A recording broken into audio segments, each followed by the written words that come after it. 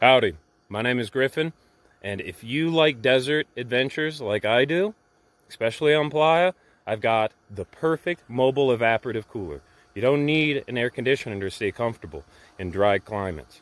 All right, here in Colorado, just outside of Grand Junction, we're sitting about 16 and a half relative humidity and about 97.6 Fahrenheit. I wish it was drier so you could see how this thing could really perform, but let's check out the temperatures that it's doing right now. All right, from 97 down to 71, okay? So that's a 26 degree Fahrenheit drop in temperature. Now you can get over 30 Fahrenheit drop in temperature if it's 10% relative humidity. This is the world's greatest mobile evaporative cooler. Nobody's doing it like this. I have a patent on the way I'm doing it.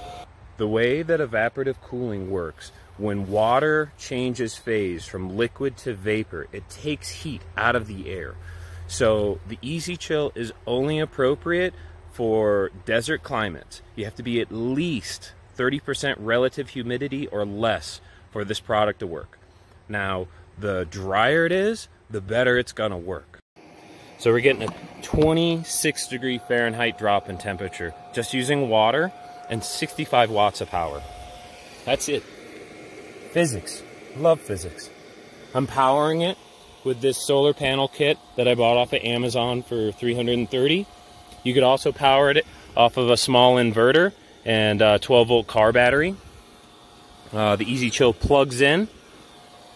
You've got your power knob here, and you can adjust the speed according to how much cooling you need. Um, this is the intake fan. Uh, you put this outside to pull in fresh, dry air, and that comes with a magnetic filter to help keep the dust out. And then here, there's no water pump in here to burn out. There's no mesh screen to, to uh, clog up or grow mold. I'm doing it completely different, and I've got a patent on how I'm doing it. All right, it comes with a uh, exhaust fan.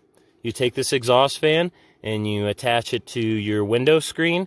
And then on the outside of the screen, put that metal uh, grill on to hold it in place. And that really ensures you're getting good air circulation in the space. Absolutely essential for evaporative cooling. You don't want to create a sauna. You got to keep that air flowing in and out.